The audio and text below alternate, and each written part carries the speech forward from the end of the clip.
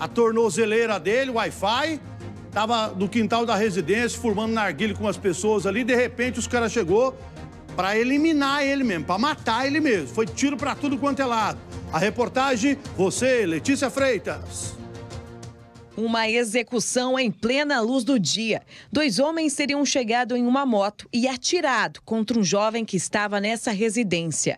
Isso foi logo no início da manhã. João Victor Muniz de Paulo, de 20 anos, morreu na frente da família. A vítima estava de tornozeleira eletrônica e tinha saído da prisão há cerca de dois meses, onde respondia pelo crime de tentativa de homicídio.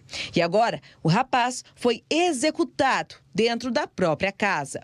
Além dele, Duas mulheres ficaram feridas. Segundo as informações, as vítimas estavam na frente da casa fumando narguile quando foram surpreendidas pelos disparos. As informações iniciais também indicam uma possível troca de tiros entre o João Victor e os atiradores. Mas ele acabou sendo alvejado diversas vezes e morreu no local. O suporte médico avançado esteve no local e os socorristas tentaram reanimar o rapaz, mas o óbito foi constatado. A irmã de João Victor e outra mulher também foram socorridas.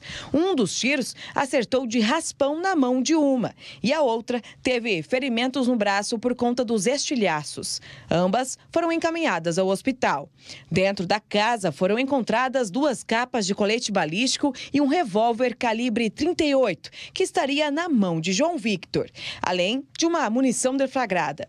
O fato aconteceu na Rua dos Eucaliptos, no Jardim das Flores, em Sarandi. E esse foi o terceiro homicídio registrado na cidade em menos de 24 horas.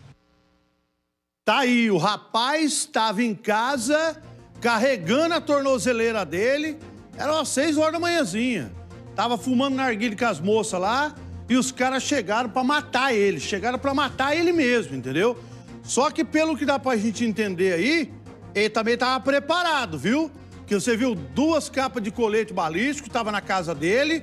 Tinha um revólver também, que tava municiado. Só que como os caras pegou ele de surpresa de manhã, não deu tempo dele se defender. E aí, meteram bala nele. Dá pra vocês terem uma noção do tanto de tiro, do tanto de tiro que dispararam o portão ali, tudo furado de bala e realmente o caso chama atenção. Isso aconteceu hoje cedo, de madrugadinha, ali na cidade de Sarandi. Ali é Jardim das Flores, né? Mas na verdade é ali na região do Jardim Verão. Tem uma outra imagem. Ah, mandaram para mim. É ele mesmo? Confirmou que é ele?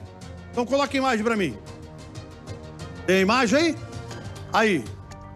Aí a imagem do rapaz Seria esse rapaz que morreu ostentando, tomando uma, com o revólver na mão que foi apreendido, com o, bolê, o colete balístico, tá vendo ali, ó?